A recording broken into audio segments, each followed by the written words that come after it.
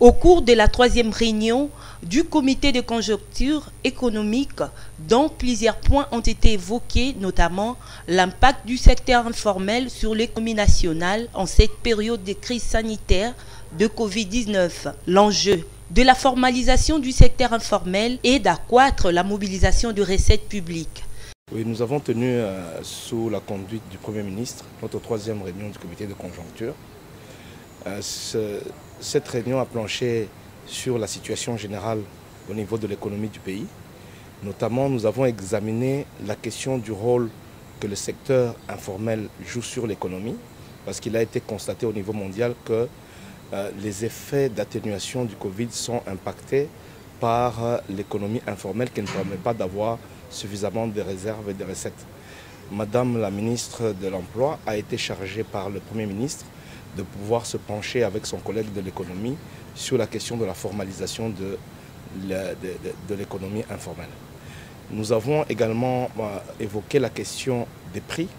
Nous avons constaté qu'au niveau mondial, il y a eu la semaine dernière une baisse des coûts des produits céréaliers. Mais par contre, ici en interne, on voit quand même qu'il y a une certaine tendance à une accélération de la hausse des prix. Le Premier ministre a également instruit au comité de conjoncture économique d'accélérer sur les dossiers de ratification par le Parlement de l'accord de 500 millions de dollars américains qui a été signé avec la Banque mondiale portant sur le projet Kin et Lenda. Les autres sujets évoqués concernent le taux élevé des exonérations accordées aux opérateurs économiques depuis le début de l'année et le respect des pactes de stabilité macroéconomique. L'accord qui a été signé avec la Banque mondiale concernant 500 euh, millions pour euh, l'opération de projet Kinelenda. Le Premier ministre a demandé au comité de pouvoir faire diligence pour euh, la ratification de cet accord, de manière à pouvoir bénéficier le plus tôt du don qui sera fait par la Banque mondiale. Nous avons ensuite évoqué la question des exonérations. Nous avons constaté effectivement que le taux des exonérations, la valeur des exonérations est très élevée, qui se chiffre plus ou moins à 425 millions en cumul annuel.